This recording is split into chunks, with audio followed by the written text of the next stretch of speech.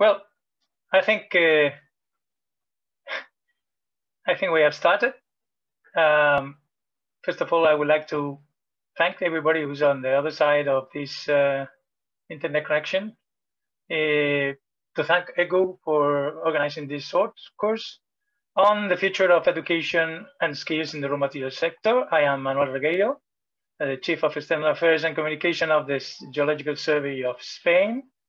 And I will be uh, presenting this, this short course. Uh, first thing, I will uh, present uh, our speakers. Uh, the first speaker will be John Ludden, and together with Anna Clark, they have they're going to present trends and opportunity in training uh, in the geoscience sector. John Ludden is well known, at least for me, I guess for you also, because he has been the director of the British Geological Survey for some time. Uh, now he's professor of environmental governance and diplomacy in the Lyell Centre of Heriot-Watt University in Scotland. Uh, and as I said, he has been 13 years uh, the director of the British Geological Survey, where we got to know and discuss together about geoscience in general. Um, he is now um, the president of the International Union of Geological Science, IUGS, also fellow of the Royal Society of Edinburgh, foreign member of the Russian Academy of Science, and past president of EuroGeoSurveys, also hosting this short course with us, and the European Geoscience Union. So he's been president almost of uh, everything in geoscience. So he, his ideas, I think, um, are very or should be uh, relevant. So I give the floor now to John Ludden. John.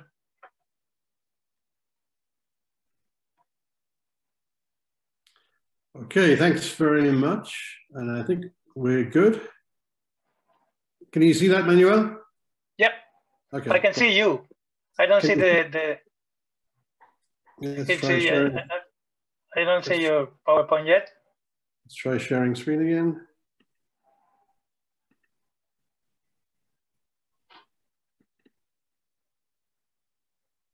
Okay.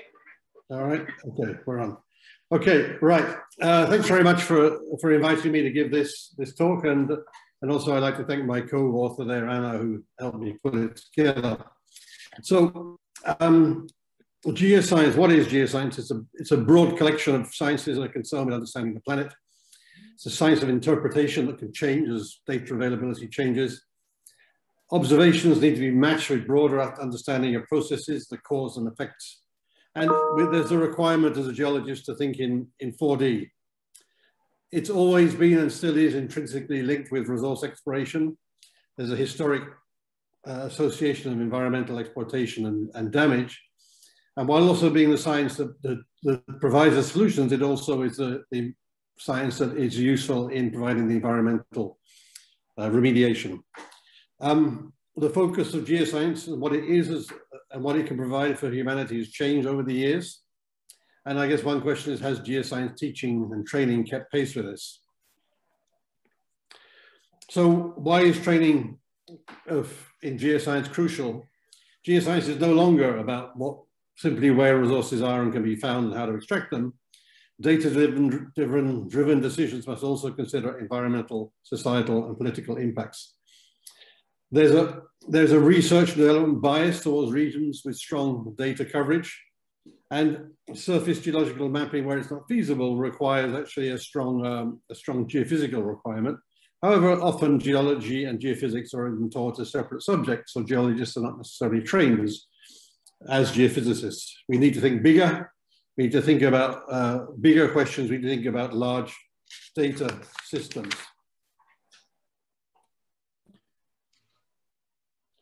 So there's been a notable decline in, in geoscience teaching, at least what, from what we see in the UK, what we see in the States and many other countries. So the question is, you'd have thought that geology being such an interesting and exciting science, we would actually be getting the enrollments that uh, would encourage an increasing number of people. But I think probably, although we're trying to understand this trend, one might have consider that the lack in enrollment or decreasing enrollment, in particular in recent years, may be related to the fact that geology is too intrinsically linked to industries such as uh, which are damaging the environment, oil and gas and mining and such like. Uh, we actually notice in the UK that there's a significant uptick in enrollments in geography where students think they're probably solving climate and environmental problems. So here are some trends, for example, that, uh, and um, this is sort of time against numbers of students for USA, Germany, and the UK. Sorry about the UK is sort of scaled back poorly, but as you can see from 2010, 15 onwards, uh, well, since, since peak oil, there's a decrease in the uh, number of students enrolled. And in this, this diagram on the side, which actually shows how the, the training feeds into the, um, the output, actually what's, what's, what's really remarkable, and this is for the US, is how little, at least in the US, the numbers of students actually go into the mining sector. As you can see, a large number of students are focusing on the oil and gas sector. That's clearly going to change. Uh, otherwise, it's in the environment sector, which seems to be an increasingly, um, an increasingly attractive area for students. So is there a lack of awareness of application of geology to other sectors? And yeah, uh, it would be interesting to have a diagram like this for Australia, which we don't have, where I suspect the mining sector would be larger, but nonetheless, you, you get a good feeling for, the, for where the students are going. So this is an interesting one. So what is a geologist really? So when, when we think of a geologist, what do we see? So these are the top five images that you get when searching Google. Essentially, we have rocks, hammers, and we like outdoors. Lack of diversity, uh, lack of PPE or lack of uh, uh, lack of health and safety considerations here. One might ask whether geologists are seen as perhaps as lacking common sense or and wild wild field beasts. But then then you go and look at what a data scientist is. Again, uh, there are we teaching the students to combine the right skills? These data data, data scientists here are all males, right? There's a they're indoors, a lack of diversity again. So this this diversity problem is increasingly, or actually still a problem we have in in geology. So um, is one question we can ask is is this data-driven science a threat to geology? Uh, you know, what's more effective, training a geoscientist in data science or, or teaching geoscience geosciences to a data scientist? Clearly, the second one is easier.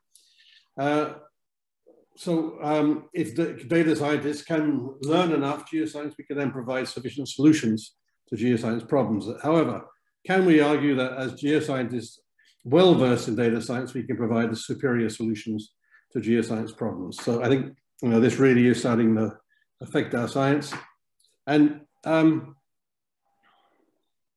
the relevance of geoscience, right? It's, it's where traditionally teaching is centered around the train understanding the earth in order to better understand the distribution and the currency of resources, training has undergone a shift in recent years to understanding, if you want, unsustainable practices. So traditional occupations are disappearing, loggers, interpreters, and there's a move towards uh, what we might call an augmented geoscientist who focuses on domain problems solving solutions. So providing the, the students with robust tools is an important uh, consideration going forward. The hub of geoscience employment is moving, is moving downstream in the resource sectors. And a quote, a recent quote from a graduate employer that I can give you here, graduate programs are producing outstanding scientists, some of the best scientists we've seen, but the problem is they don't know how to do anything. So many of the applied skills in geoscience are not found in the formal education. So how do we actually start to, to make sure that we provide the skills for scientists who are in this applied sector, mining, oil and gas, even environmental re remediation, carbon capture and storage. You know, they need, they need the skills of communication, business skills and such like. So uh, commodities, many, many commodities have 400 years of reserves, but the challenge is in production, distribution, and then the retirement or the, the rehabilitation and, and co-production. So geoscience is an integrated science of engineering, geophysics, geology, and geochemistry and many other still it's, it's often often these different aspects, engineering, geophysics, and geology, are actually taught independently of each other. So how do you get this kind of holistic, well-trained, well-tooled geoscientist as we go forward? So probably the, one of the, the keys to all this is collaboration. Uh, you might recognize the pictures here where, where you can see sort of a, a digger bucket deep working on its own, trying to push out the, uh, the, the, the, container carrier, carrier in the Suez Canal, whereas a bunch of tugs, tugs pulling together actually help the process and, and collaborative efforts of, of many uh, scientists clearly help. So there's a move towards collaborative training models across industry and across academia. academia. There's a move to equip scientists with uh, the careers that they need for industry and academia, greater linkage, greater postgraduate employment and such like. So the, the examples here, these are, these are British examples, but there are other examples I think you can find. So the, the creation for centers for doctoral training, where actually these centers are co-funded by industry, where the doctoral students, in this case, not undergraduate students, come out with, uh, with specialist training in uh, as geoscientists. And there is a formal linkage between industry and academia. And I think that probably one of the solutions going forward for the mining industry will be to actually create, if not doctoral training programs, but master's training programs at least, where there's a more formal linkage and we end up with, with students who come out with a, with a combination of geology, geophysics, engineering, and the social values in geosciences. So um, this is a diagram that's, that's, taken from a recent paper by uh, Edmund Nickless and Jack Hess, which tends to show that the, the fact basically that it's the evolution of surveys, the evolution of, of geoscience institutes, tends to show that there's a shift from national exploration to international collaboration. Geology doesn't, doesn't recognize or adhere, adhere to borders and also um, under, underpins the, the importance of major data providers and the significance of continental scale geological survey formation in understanding continental scale geology. It also tends to showcase the need for data and, and in the mining sector, we still have a, a, significant problem of people being somewhat selective about the data that they, that they put. In, gen, in general, if you take Africa, for example, many African countries do not release their geological data openly, so that actually is, a hindrance to mining and such like as we go forward. So open data is an opportunity. I think, I think probably open data will help uh, us uh, move forward. It'll help us train students. It'll help bring students into the into the discipline. It, it's an opportunity to think locally. Sorry, think globally. Uh, maybe act locally. It promotes multidisciplinary collaboration. It develops skill sets required. The, the slide that you have down at the bottom here that you can see is actually from the Frank Arnott Award, which is at, which is in in uh, uh, mining technology, essentially, or, or mining uh, exploration that was awarded this uh, this spring at Prospectors. In, you know, I think kind of there's something that you can see, see from this team Emerald, for example, is largely a Colombian team, I think. Uh, and but yet they used the data set to underpin their model, which is based on the Yukon Plateau, right? And so you know that you know the, the, the data is not even available in Colombia for these people who are trained in Colombia to actually use a data set that's local to them. So that's a problem that we need to deal with.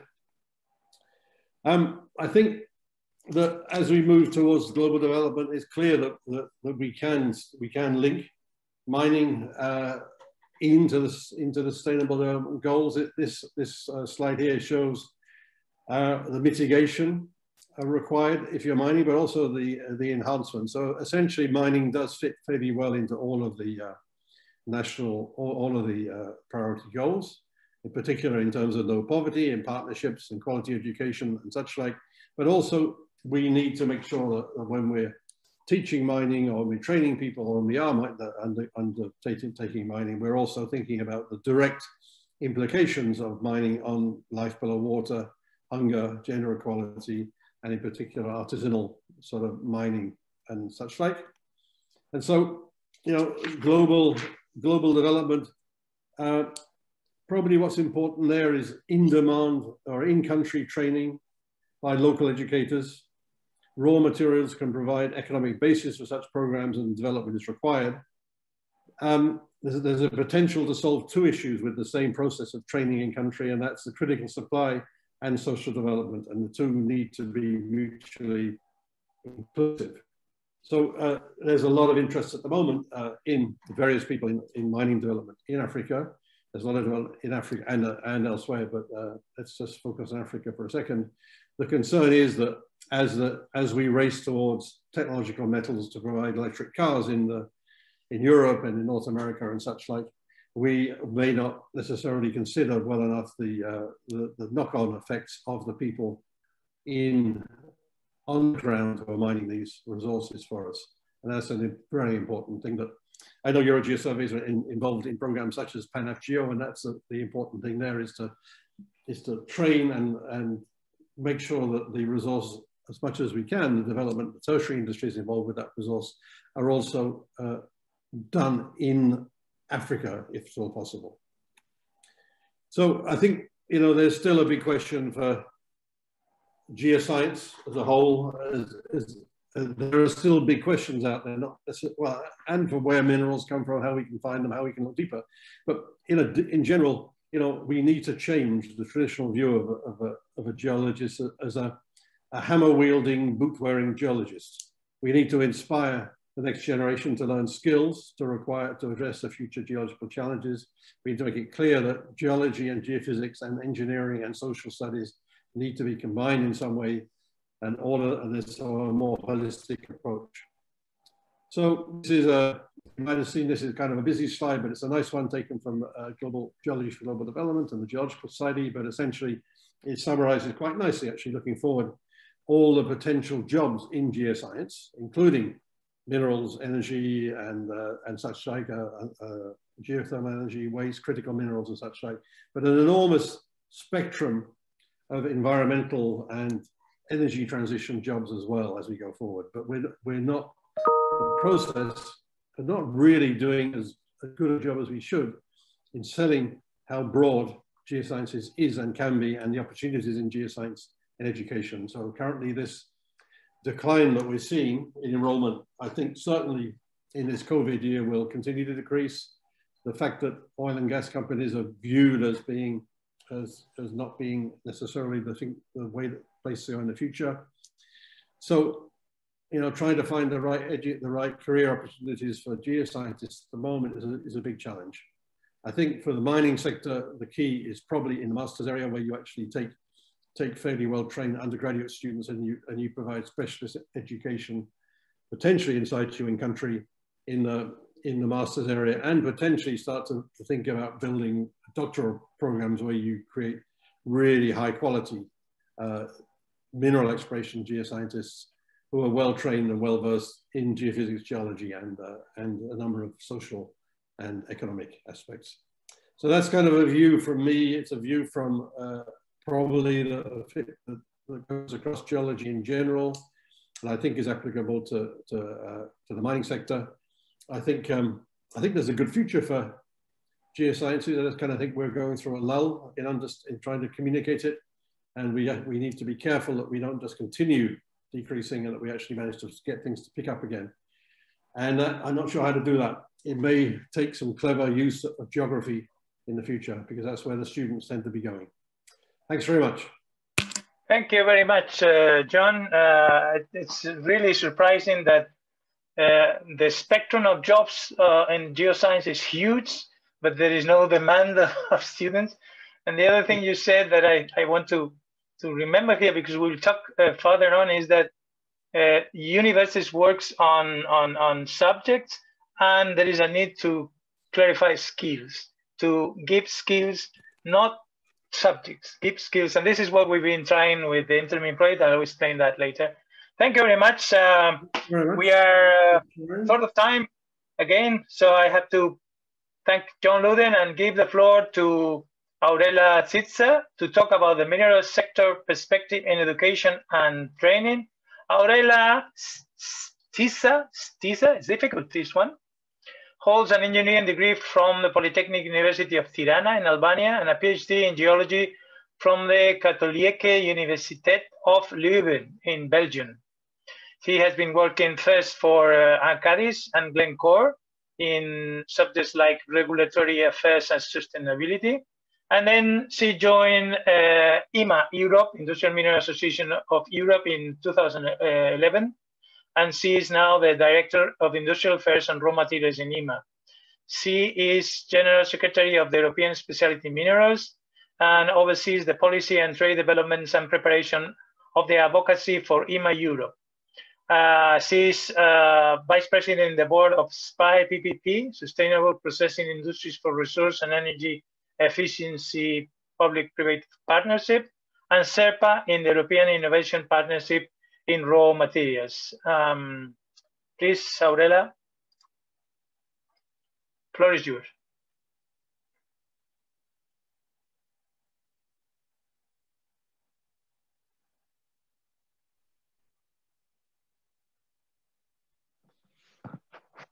Can you hear me? Yep. Okay.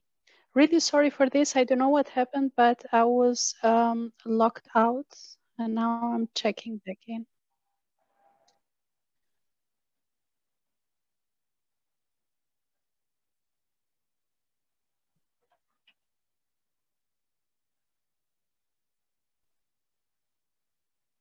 Are you able to see my screen? Not yet.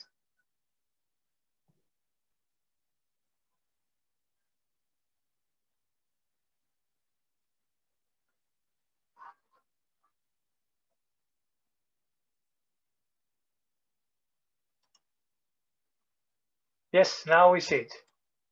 Yep. So uh, really sorry for this IT issue. Um, first of all, thank you for uh, having me here, for allowing to present the mineral sector perspective in education and training. Um, just on the presentation layout, I'll uh, briefly introduce uh, the mineral sector in a nutshell, a few key numbers and figures.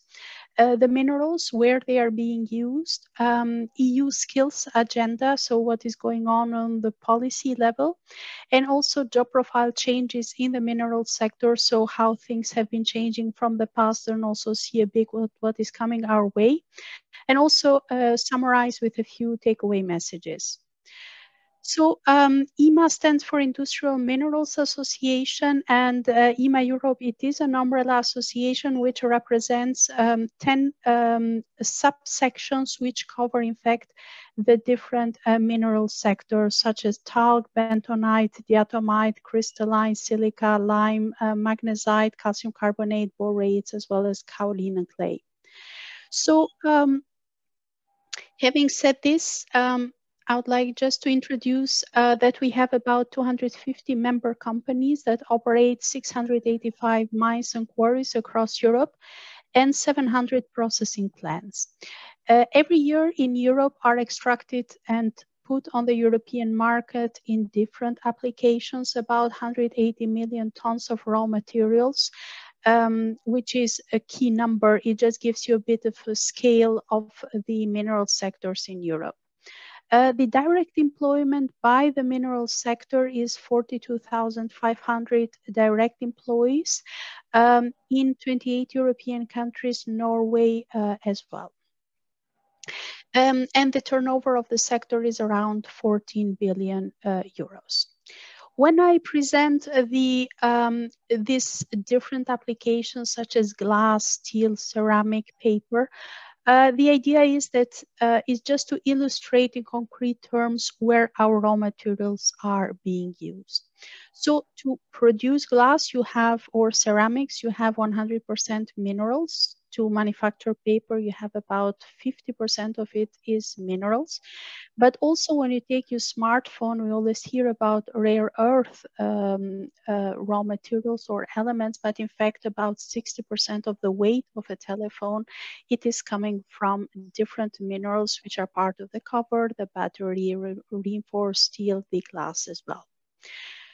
Um, when you think of a house or of a car, you also have uh, to consider that there are different constituents as part of a house or a car. And um, in each of these different constituents, you have different uh, minerals, which in total um, make up about 150 um, tons of minerals are can be found in a house or in a car. Uh, it is the same uh, numbers. I'm, I'm not going to go through all the detailed numbers here, but um, also uh, infrastructure. You need a lot of raw materials in order to make it um, or to uh, keep it in uh, good conditions in order to be able to operate. So thinking about um, biking uh, tracks or rail tracks, it is the same. Um, when we think about the um, energy generation or energy infrastructure, we always uh, think about the rare earth, but in fact, in order to keep these infrastructures in place, um, if you take the windmills, for example, uh, you do not see the 50 to 50 uh, meter uh, base that keep this, this infrastructure operational. So I'd just like to bring a few concrete examples where our materials are, uh, are found. Going to the EU skills agenda, um, I would like just to briefly introduce you um, uh, that uh, early middle of uh, last year, the European skills agenda for sustainable, competitive, social fairness and resilience, it was uh, it was uh, actually it was published. And it is basically um, a reshaping or a revival of the 2016 skills agenda and the key updates of it are the linkages with the European digital strategy, industrial and small and medium enterprise strategy, recovery plan for Europe, and increased support for youth employment in order to create more opportunities for the European young generation. This uh, EU skills agenda is um, based on five building blocks. The first block is to create um, collective action by mobilizing businesses, social partners, as well as stakeholders in order to create this matrix of opportunities for different concerned stakeholders to work together uh, and to uh, actually deliver on EU industrial ecosystems. The second building block of the EU agenda on skills is to define the clear strategy to ensure that skills lead jobs. So we need to have these skills in order to create job opportunities for um, for uh, people. Um, the third uh, the third building block are the people um, and the need that they need the the people and the opportunity to develop their skills through long life learning.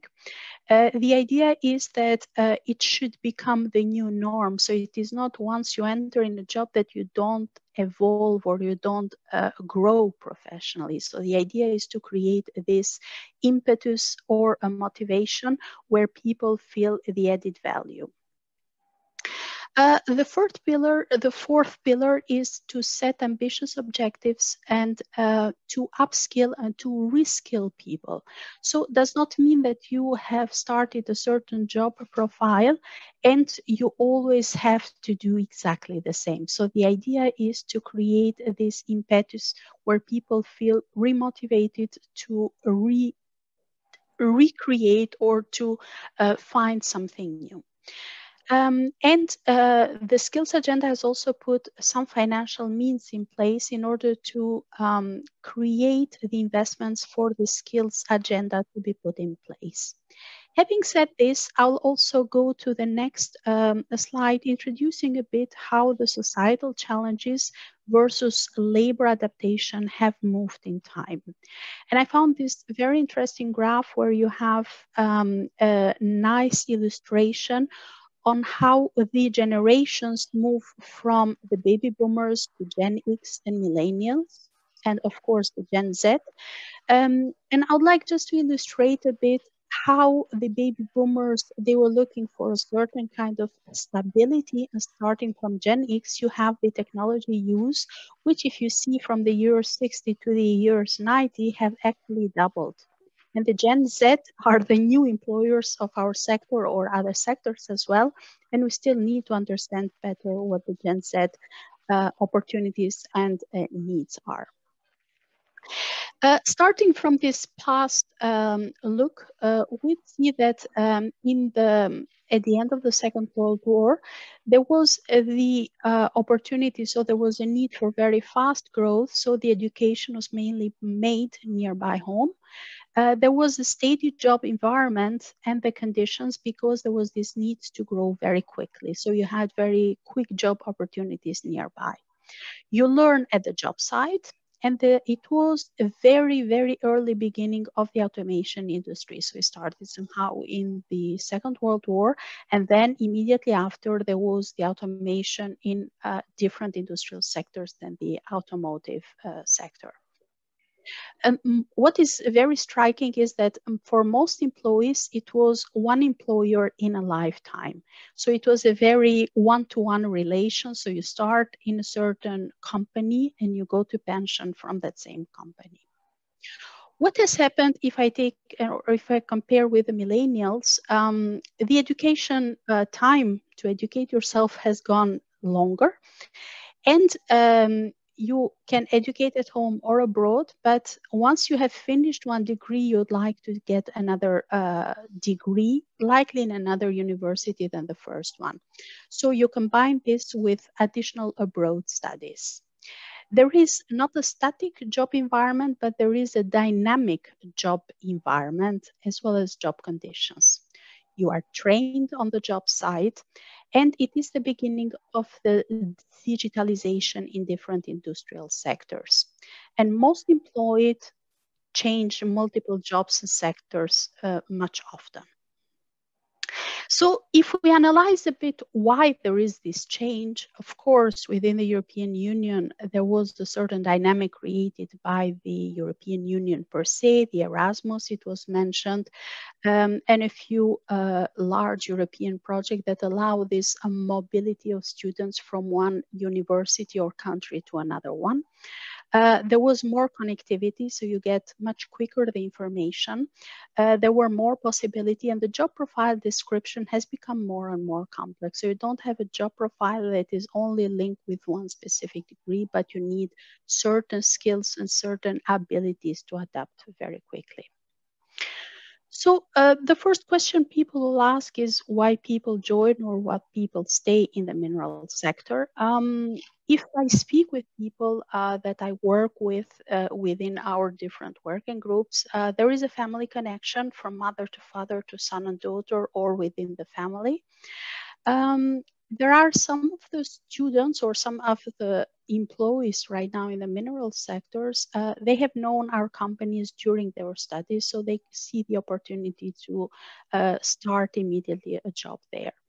Uh, it is a dynamic sector uh, where one mineral it is used in different uh, applications. And the idea is that you get to know different sectors thanks to the use of minerals in different other sectors moving from one specific application. So if you are a market manager in one specific application, moving to another application, it gives you the perspective of changing sector actually, because it is not exactly the same functionality or the same product ending in that specific sector. Uh, there is a continuous training to boost retention rate, but also to create the possibility to grow professionally. And sometimes people leave, but they also come back uh, within the sectors. There is the um, education within the company, and um, there is a special trend within the mineral sector, but I think also other sectors have developed it, that the companies, um, John mentioned something that um, the students are very good, but they cannot do a lot. So the companies, they have realized this. And another factor is also the reduced number of people that go into engineering school or geology or um, other uh, areas related to engineering, which has created the companies to build common curricula with different universities and schools to identify and motivate the talent development.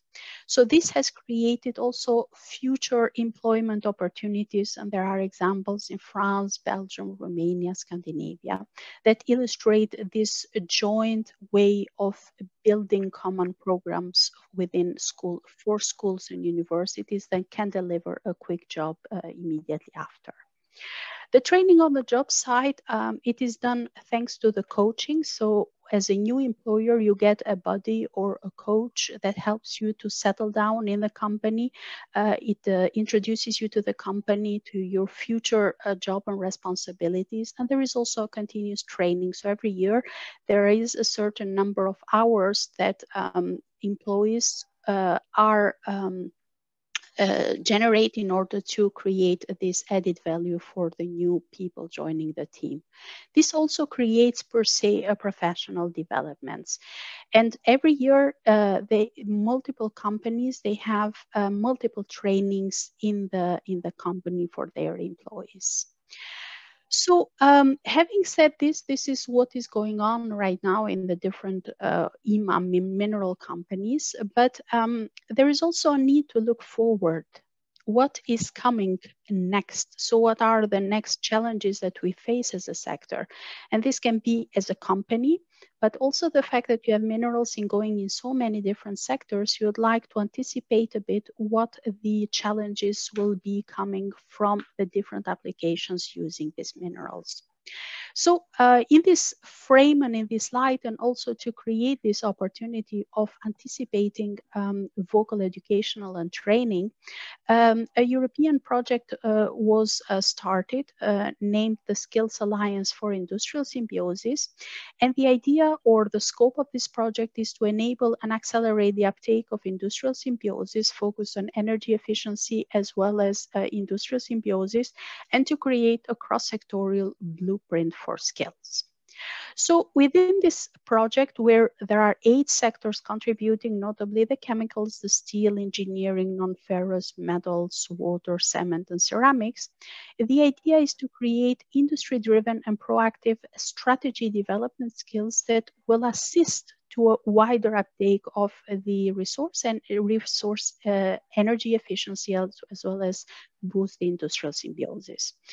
Um, another uh, scope or another angle that the project is addressing is to address shortage in uh, future skills, not at one sector level, but at eight industrial sectors in order to see a bit how they can uh, link and how we can build these uh, upcoming skill needs uh, across multiple sectors. Uh, and to also address what are the existing curricula with the future anticipated needs, qualifications, and knowledge. So this is just a bit a, look on the past of the sectors, the present, but also what is coming in the future. I'd like to summarize with a few takeaway messages for you. Um, education is the first step to a job profile and position. However, education per se is not sufficient, so there is on-site learning and continuous training, which are the success factors in order to create a long retention of employees mineral sector transition needs new skills and um, there is this dynamic of job profiles and matching of industrial sector needs which should be addressed and should be anticipated. And the company action to innovate and motivate employees is related and strongly linked with the long life learning as an opportunity to evolve in the same job position, but also to see other opportunities beyond the same job position. Um, as I mentioned, uh, the challenge it is not only for the mineral sector, it is also for other sectors that are facing exactly the same policy pressure or other uh, pressure from down the value chain. So all of this summarizing a bit what is going on in the mineral sector and how we are actually anticipating with other sectors as well. So uh, this is briefly what I wanted to share with you and I'm open for questions in case you have any or we can collect them at the end of all presentations. Thank you.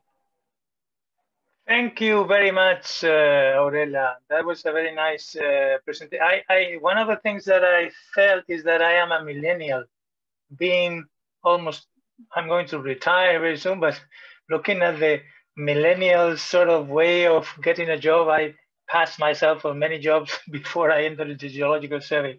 Anyway, um, uh, that that was very good. I, I, I, I got the message. I think it, it, it fits very well with what John Ludden says about geoscience and the same sort of, I mean, we are starting to, to sort of um, get together very nicely in, in this conference.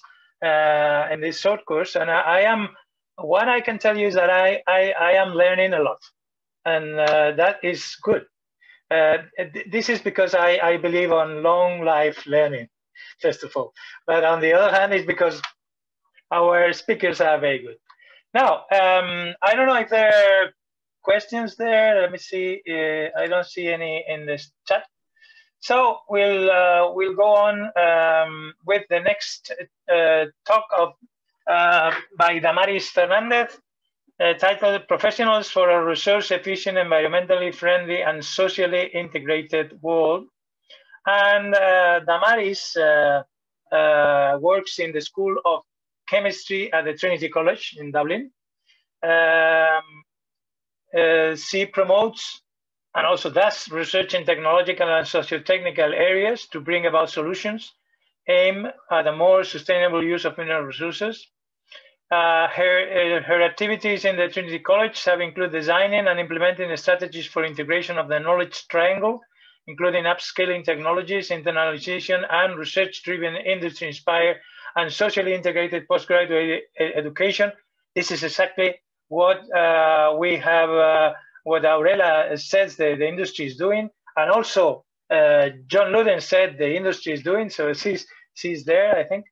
Uh, she led uh, uh between 2012 and 2014 the Irish raw materials strategy, with, uh, which contributed to the integration of Irish institution in several key raw materials activities through Europe and Latin America, such as the EIP raw materials, EIT raw materials, KIC and ERAMIN, she is currently a member of the Executive Committee of the European Technological Platform in Sustainable Mineral Resources and collaborates with the JRC and EIT Climate on the application of visual methods for the development of social technical solutions to challenge related to regional development, circular economy, and sustainable management of natural resources.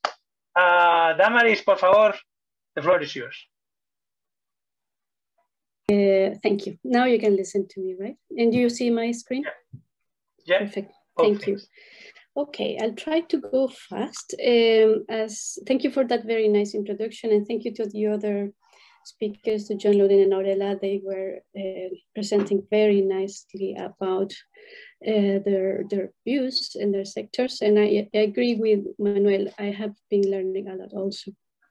What I'm trying to do here is um, show you show to you our experience uh, as a as a integrator of these three the, uh, the knowledge triangle academia research and also industry. Um, one of the key uh, things that we have seen for almost 10 years now is that the sustainability aspect was already uh, sounding very strongly uh, 10 years ago in terms of what would be the key bottlenecks and the elements that would once solved provide a successful implementation of any raw materials related project and we kept seeing uh, now and again that uh, resource efficiency, environmentally friendly projects, and socially integrated aspects were required in all of them. So uh, we are in 2020, we need to see that the professionals that we are forming now are going to face a world, as you guys have said, that uh, where, where their world, our world, is changing their paradigms, especially after last year. Uh, so reading the trends, I will just go overview of the, what's been happening a while ago. We don't have a doubt about the role of the raw materials in the development of the society. One example is the use of copper since the onset of electrification, which has, has led to a lot of um, mining activity and the, the society development. We don't have any doubt about the role of the raw materials in supporting the current need for an energy transition, the mobility transition to achieve the climate uh, related targets, right?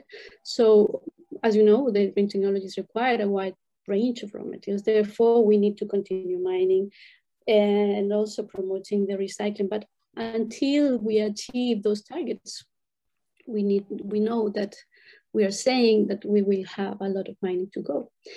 Uh, there is no role uh, doubt about the role of those raw materials in supporting communications and, techno and connectivity. And when those, those uh, generations, a couple of decades ago, were talking about increased communication, the communication era, the global village, we started to think, this, this concept started to sink in, but we have seen the effects currently last year very hard. Uh, these new inputs from the pandemic have uh, halted mobility. They have triggered actions globally, tending to facilitate remote work, remote education, automated work where possible. Conferences are now online, right? We are, we are living that. This has resulted in a demand of high technology related materials and uh, metals and minerals, many of them already included in the uh, critical raw materials list in Europe. Uh, also, the, this has made, as a result, uh, refreshed this discussion in society about connectivity and their relation to flexible working modalities, new education models, and city planning. And here I highlight the new education models. Um, the trends that we have seen in the last decade uh, is that the center stakeholders here, that industry related with raw materials, the associations, the research institute, and the academia, that cluster was very solid, but there was um, rather fast uh, inclusion of further other uh, uh, stakeholders such as the governmental bodies, the international bodies that gives directives that now could be binding to these other cluster. And we see the participation of NGOs such as the environmental NGOs, but many others as well. And lately the civil society stakeholder sector. Uh, a big, big example um, what I'm showing in this, in this table actually is the impact from local to global and darker, darker shade of blue would eh, show where we expect a further or, or a major influence of that particular stakeholder. But when we look at the civil society, they not only are expected and acting and impacting in the local realm, but also globally. And this is something that uh, for some uh, sectors has happened quite rapidly.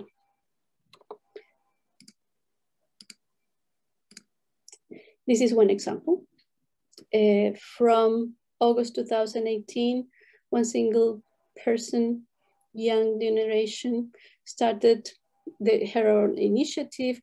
And by in, in one year time, she was selected as, the person of the year by Time uh, magazine. Uh, we know how a good idea can can um, achieve you know a, a, lot of support but that also shows that the civil society group of stakeholders participate and uh, are their voice is listened now i'm going to fly with other stakeholders we know international bodies such as the un they're giving our their directives associations such as Euromines. They also are working towards sustainability, etc., for putting their position there.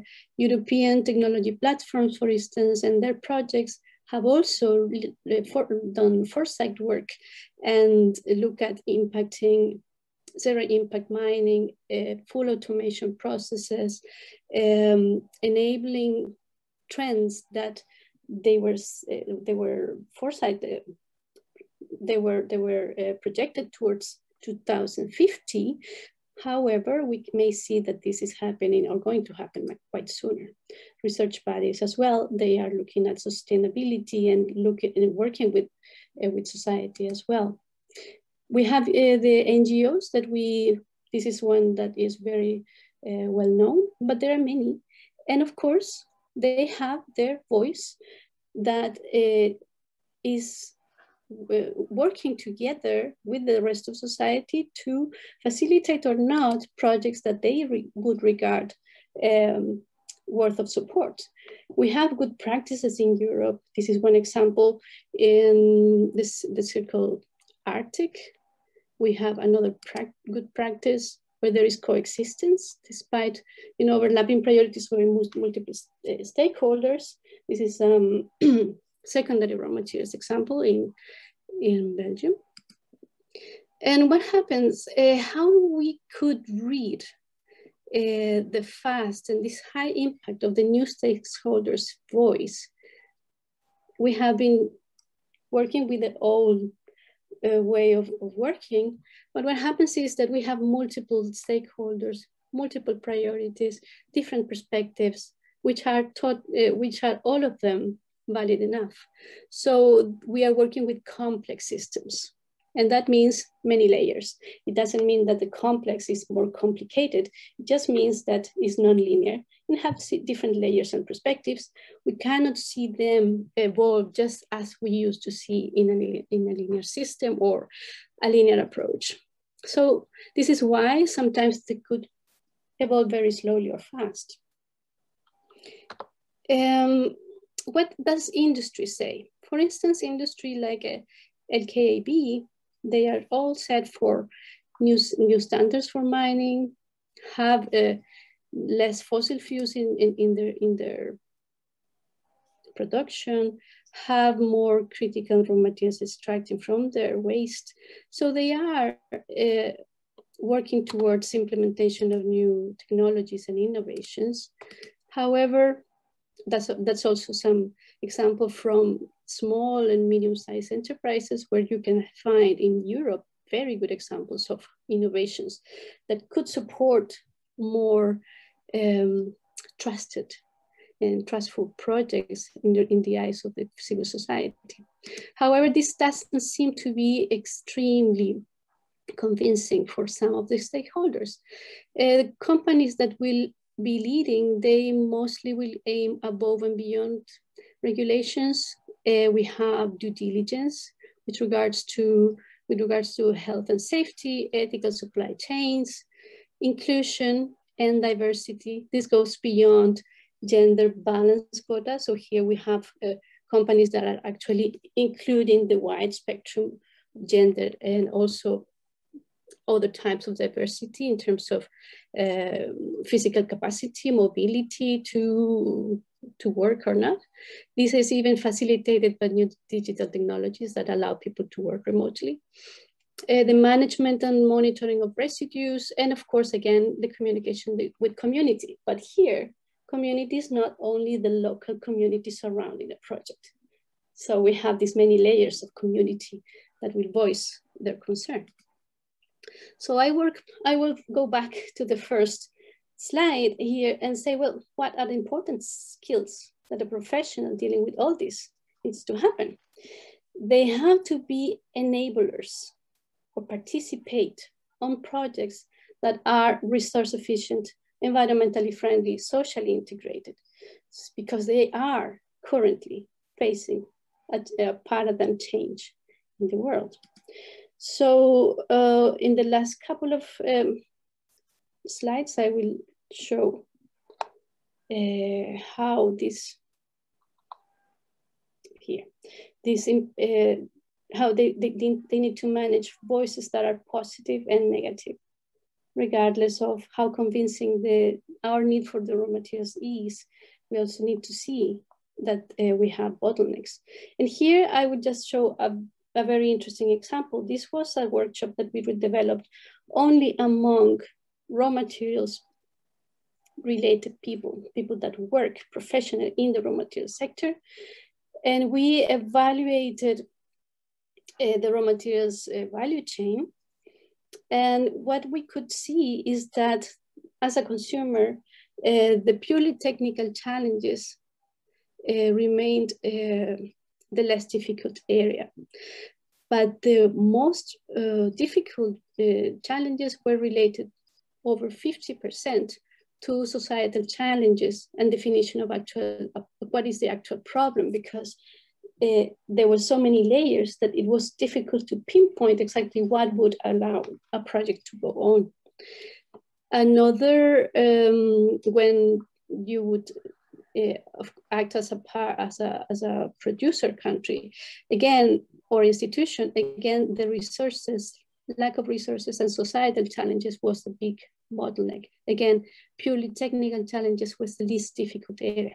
What this says, and this has come every in, in every complex project that I have we have addressed, is that uh, no, regardless of there is always resources to solve a technical challenge even if it is now or in certain time. But the difficulty in reality lies on how to deal with socio-technical challenges. And what we have saw, uh, used is um, in really in collaboration with climate change people teams and also with JRC is uh, the use of socio-technical and participatory methods. What we have here is people participating and developing together solutions and indicators of success and building roadmaps. This generates useful information. These are conversational space, but we go from quality to semi-quantitative to, or they go to qualitative um, places and uh, they develop indicators as, as, as, such. And for this, they are able to, uh, by creating mapping of stakeholders, determining the challenges, the needs that are desired, needed to be addressed, uh, visioning desired outcomes uh, for these specific timelines and roadmaps, they can integrate, interact, integrate, create solutions and innovate in terms of technical and non-technical innovations. Uh, this is something that we could and we can actually uh, uh, teach to our people, uh, our graduate students are receiving modules that, that create this. We simulate these systems with them and ultimately they enable trusted systems. So uh, the good point about this is that uh, you can create co-owned monitoring indicators from a qualitative situation. And then with these indicators, you can monitor, control, evaluate, reassign projects and roles as they progress. Uh, lastly, I would say that projects as, such as INTERMIN, which have this global footprint, uh, have a very large potential to jointly develop curricula that will enable those students to learn and apply participatory methodologies to deal with this kind of things. I am open Thank for- Thank you very much, Thanks. Uh, Damaris. Uh, yes, um, I, I, I think that uh, obviously uh, th those things that you were mentioning, probably they teach in the Trinity College, but I don't see that many schools in the world are training geologists to do what you said they have to do, except by looking for the raw material first. But then obviously these are the new things that we have to look for. It's only one minute left, uh, but I will present. I, I don't know uh, if we have some more time. If not, I will I will uh, present very quickly Intermin that you uh, so kindly in, uh, introduced. Um, as you all probably know, uh, it's it's um, a specialized portal of global raw materials training. The, the idea here is to to present to a student that wants to to uh, to find the, the, the, right postgraduate training all around the world, the best postgraduate training all around the world, including what Damaris said, uh, the, the new the new things that geologists or mine engineers should know. You can look around in this portal and find it, and maybe it's online. You could uh, you could do it. This that's why we uh, the first thing we've done is uh, is to map skills and knowledge uh, knowledge in the EU and third countries in all the training courses that we already have in the portal. We have identified the knowledge gaps and emerging needs, and this conference is, is a proof that uh, Aurela has explained us uh, some of the knowledge gaps and the emerging needs, and Damaris also. Even John Ludden said what what the, the coming geologists should change the, the, the people should change the view of geologists and turn and, and, and change what they think about geology so geologists can, can cover all those skills. And then they, we also, um, uh, uh, we have developed common metrics and reference points to, for quality assurance of recognition of training, and this will be implemented in the port portal. Uh, we have developed a comprehensive competency model for the employment across the primary and secondary raw materials sector. We are now establishing common training programs in the raw materials sector I, I remember that Aurela said this thing that some of the policies of the Commission have helped uh, in, in, what was, uh, for example, the Erasmus program has helped in this change of roles or ways of learning and skills acquiring, and this is true. We are trying to do something like that, a, a, a, a changer somehow. And of course, we are now creating this international network of training centers for professionals in the raw materials sectors that is so much need. Uh, the, the, the consortium groups professionals, training and education organizations, employers, mostly geological surveys, and our advisory board covers all around the world. So we our global audiences uh, half a million professionals from all around the world. The competence model is very interesting because here you can see that uh, we have already defined the things that uh, create a professional. It's the personal competencies, yes, the academic competencies, but this is not all. Then you you you you have to get the workplace competencies and competencies on a wide uh, industry-wide technical competencies, industrial sector technical competencies, and then one thing that is sometimes forgotten is that a geologist or a mine engineer might reach the, the leading part in the company and he has to have some management competencies. We have designed this and found and made a skill map that nobody has ever made. This is the way we are we are working, and this is, for example, for materials engineers and recycling. Qualification from the university, knowledge acquired, the skills acquired. This is the very important. John Ludden said, uh, uh, Aurela also, uh, skills. It's a skills matter. You must know to do you how to do things. Not only keeping your all that knowledge, that fantastic knowledge. No, no, you have to do something. Otherwise, the company is not interested in you. And then, of course, those skills have to go to have competence. You have to do the job with competence. Uh, you acquire that competence by knowing these skills. This this is the same model for mineral exploration, mineral extraction. This is all.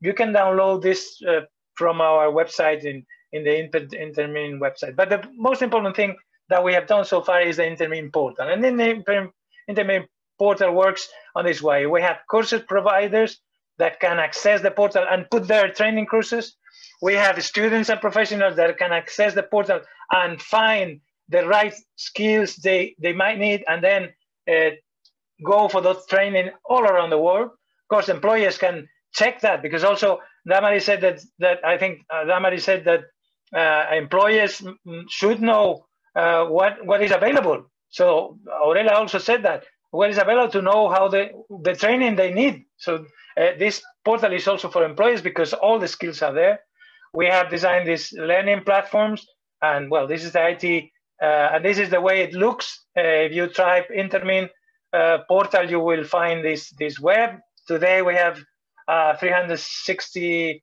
This is old, but this is training centers uh, from 100, almost 100 countries. Um, well, the, you can explore institutions. You can uh, store, study programs.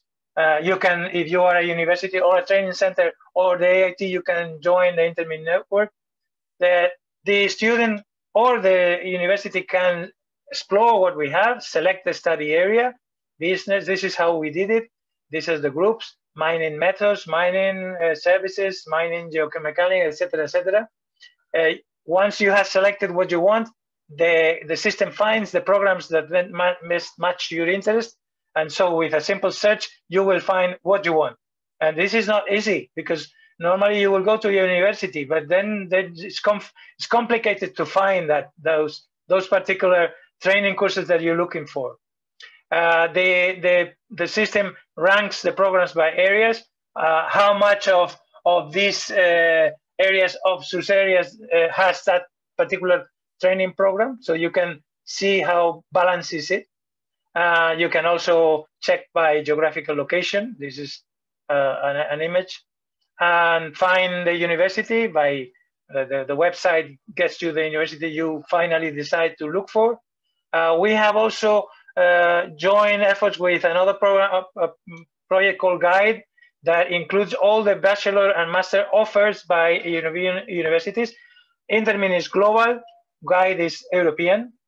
And so to uh, summer, summarize, uh, we are going to maintain and establish a, a strong and a sustainable relationship with the leading raw materials training institutions in all the relevant countries. We, uh, with this, we will try to increase the competence and expertise in the field of primary and secondary raw materials of EU postgraduates. This is this is missing. We, we, we are looking for new skills. People have to be trained on these new skills. Uh, long long li lifelong training is a, is a need. You you have to learn all your life, and then this tool will allow you to to find the best skills that you might need when you change from one job to another, as Aurela said, that has happened in the past. This will improve the availability, another big problem, and of qualifying skilled workforce in the uh, with that will lead to for the EU to be more competitive in the raw materials in industry. Uh, the, the, the project also uh, will enhance cross-sectoral innovation. This is something very important. I think uh, uh, both John Ludden and, and Aurelia mentioned this thing of, of, of the new link between institute and universities and uh, and and uh, and industry, and also between industries to to to cope with the needs of today's uh, uh, industry production. Intermin, of course, will foster international cooperation, and we will uh, generate a long-lasting network of technical and vocational training centers for raw materials professionals. Um, we have a, an, official video. I, I, don't know if we have time to see. It's a very short video, but anyway, uh, this is the link if you are interested, one of those who are watching us. Uh, if not, uh, because we are over the already over the over time, I don't know if we can say something else. There is some. Uh, John is saying that we can produce a. Yeah, yeah, we can do that. Thank you, uh, John. Uh, I don't see any question. I don't say. I don't know if from EGU there is any question anywhere. If not, uh, then um, I, I, have to summarize that this has been a very interlocked sort of uh, short course because all the things said by John were then uh, locked by Aurelia and finished, finalized uh, in, in the end by Damari. So I think we are on the same route. Uh, geoscience, raw materials, the training companies, the, the training institutions, the industry that needs all this. And, and, and, and the Damaris particularly said a new skill that we should have is how to cope with the people saying no. Uh, the other day, uh, um, a mayor from here in Spain, in, in an area where there are some feldspar, um, they, they, the, the mining uh, uh officer went to talk to them to explain that, that the operation was going to be very small, there's no harm done. But the people said that we do not want big, small, nothing. So how can you can you cope with we want nothing from you from the mining industry? And this this is uh, I think, in my opinion, the, the, the, the, the reason why geologists and mine engineers, the first one to arrive in an area, have to already have the message, and they have to learn this message uh, how to cope with this the, the problem of the, the social uh, license. Uh, and this is something uh, I think that deals with skills and the, the need of uh, these uh, new skills that are not yet trained. I don't know in Trinity School, but in general, in the geological schools or in the faculties or in the mining schools, nobody is dealing with social license to operate and training their postgraduates with these things. And this is basically a big problem. Although, as if you enter Intermin, you will see that there are some places where you can learn about these things. And obviously, thanks also to this short course. Uh, I don't know if someone of you want, some of you want to say something, uh, or you're happy with your, what you heard. If uh, if not, uh, I will just thank all the speakers, uh, the attendants, if there were any. I don't know and um, and uh, and thanks uh, EGU again for organizing this short course. Uh, as you know, the the short course is going is going to be taped, and I think if you send uh, to Edo your service the the presentations, we can also make some more uh, diffusion through the inter Intermin portal, and of course. Uh, if John wants us to write a paper on all this that we heard today, I think it would be a good idea with with uh, with uh, Aurelia, Damaris, and John uh, a paper on to, to focus the problem of, of skills uh, in this particular side of the business that is not related with, particularly with the science of, with, uh, with the science of geology or, or mining, but with the science of sociology. And I don't know if we're ready to, to cope with sociology these days. Manuel, my suggestion was that we, the, the Intermin tries to find a way of publishing the, you know, the results of what we just did, you know, in, you know, maybe as videos, maybe with some text as well. I, am not, I, I, don't believe in writing papers. I did that when I was a kid. I stopped doing that now, but it's, uh, but, but, but we need to make sure that, you know, because there was, you know, there were a series of good talks that, that actually there wasn't much of an audience, if anything, that we need to get out there, I think.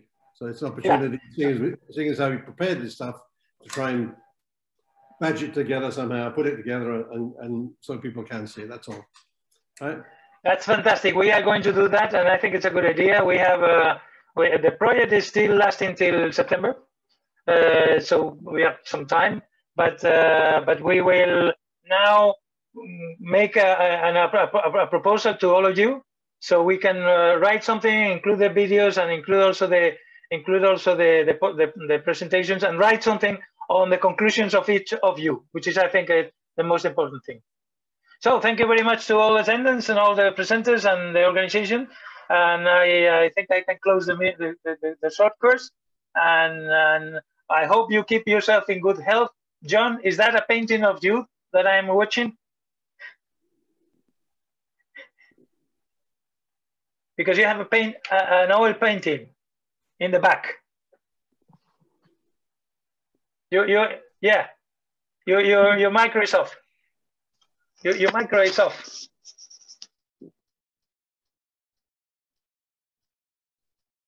John, you're muted.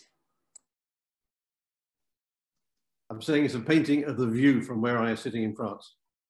Oh, nice. Okay. Although I'm not supposed to be Let me see. I have something on. Okay. Okay, so Uh, thank you. Thank you very much. Thank you. Bye bye. And thank you to everybody. Bye.